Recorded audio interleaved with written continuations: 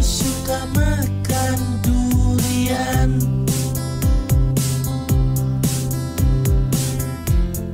Semua suka buah durian Durian ini kan makanan orang Asia sebenarnya. Asia Tenggara. Asia Tenggara. Asia Tenggara. Ya kan.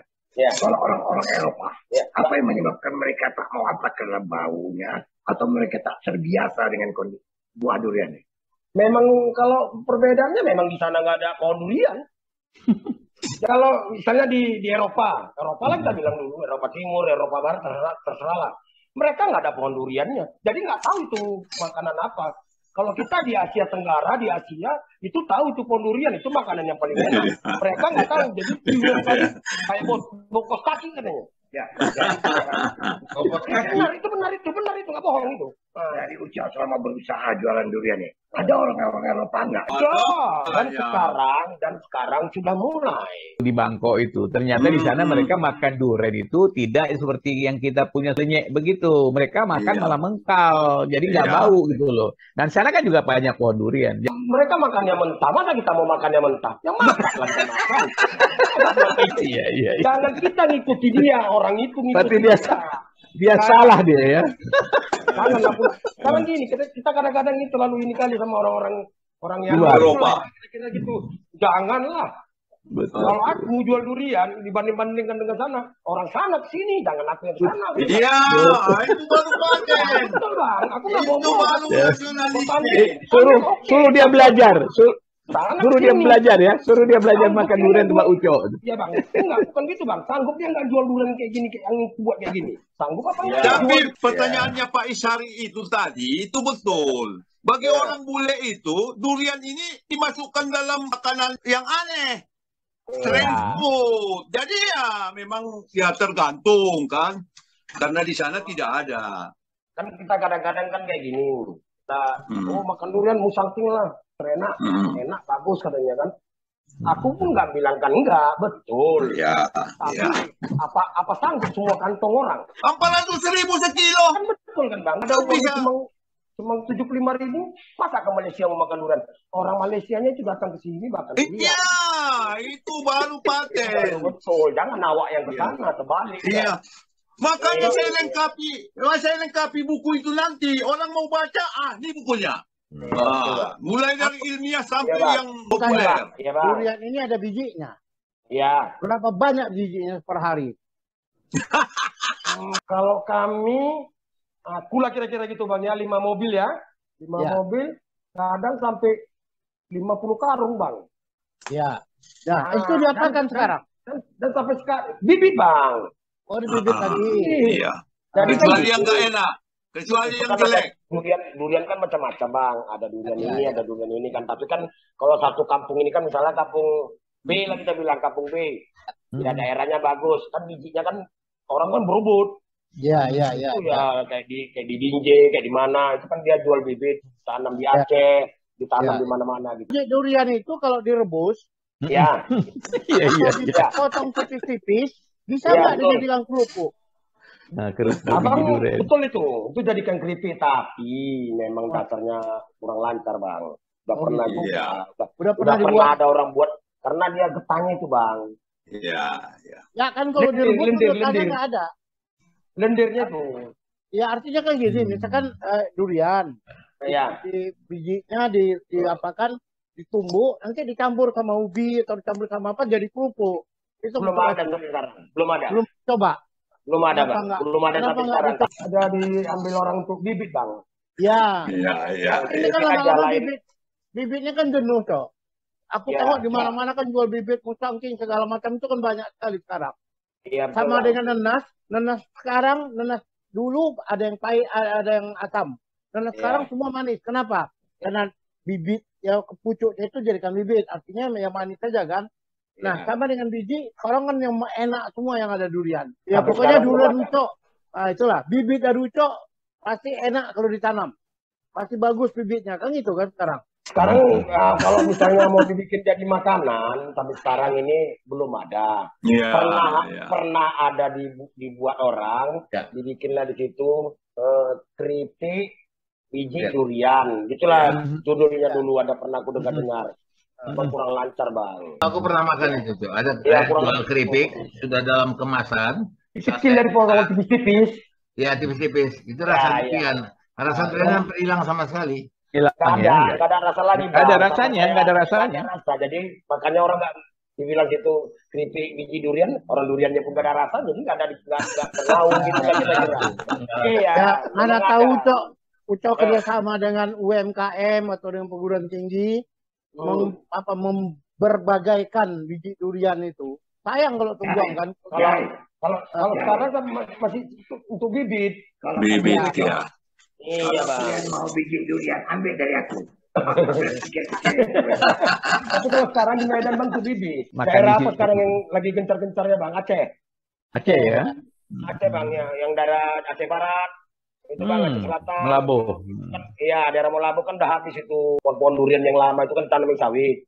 Ya, ya, Nah, ya. sekarang orang ini mau memperdayakannya lagi bang. Kebanyakan itu Hmm. kirim ke daerah ya Aceh Barat itu Aceh Iya, Barat iya. Selatan itu daerah-daerah sana. Bagus. Dan itu memang bagus sekali bang. Cocok kali setuju kali.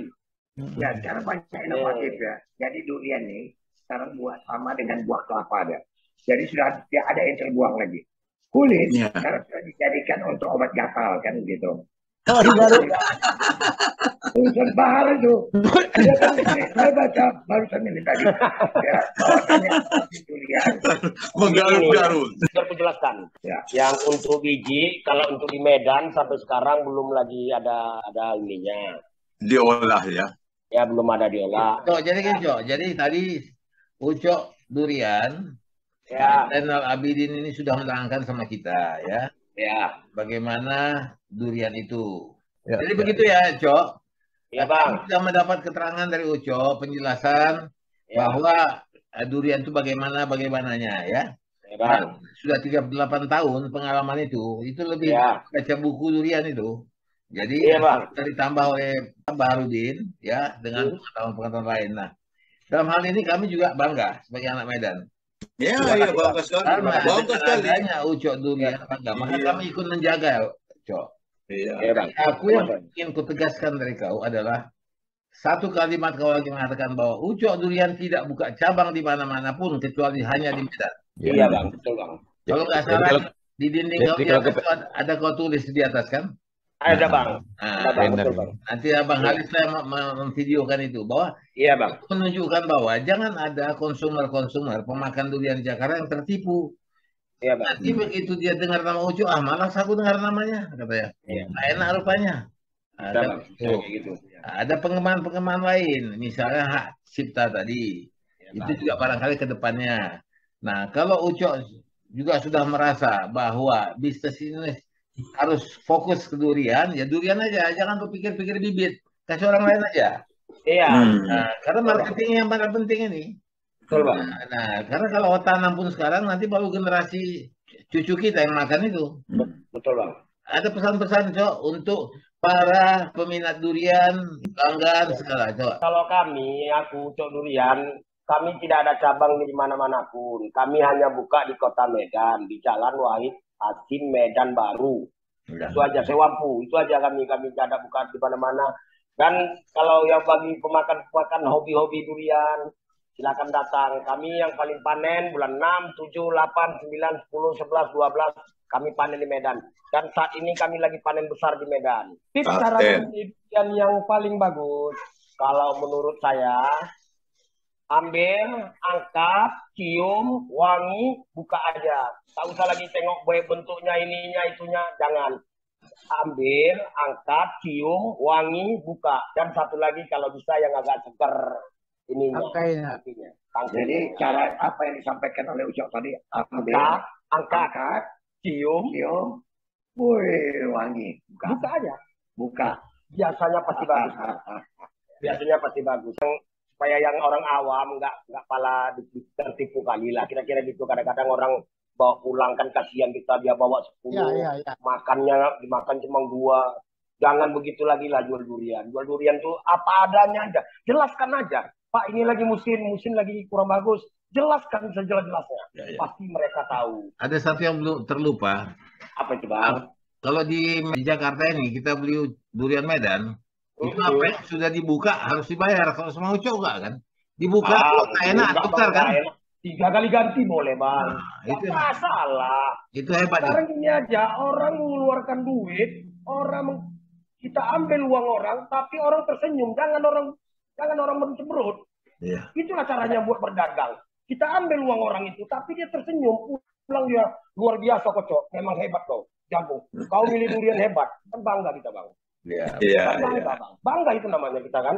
Ya. Ja- kalau yang dulu istilah dulu itu beli 10 makannya cuma dua jangan jangan gitu-gitu lagi. Ya. Nah, Oke. Sekali lagi. Udah, udah, udah. Sekali lagi. Ya. Nanti kita jumpa lagi. Ya sudah kita Oke, Bang. selesai dengan ucok durian. izin ya bang ya, kalau ada kata-kata ya bang, izin. Ya. Yuk, yuk, yuk. Assalamualaikum warahmatullahi wabarakatuh. Waalaikumsalam.